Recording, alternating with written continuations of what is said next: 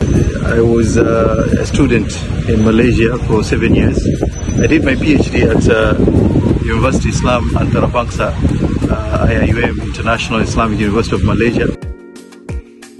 You know, I chose Malaysia because of the best, uh, you know, education, especially the integration of knowledge. You know. Uh, Malaysia, I found it to be uh, one of the, the, the best places uh, for uh, for Muslims around the world, or for anyone to study in Malaysia because of the, that mixture of East and West, cultural and a cheaper area, and the cultural, especially with the Islam, Islamic values.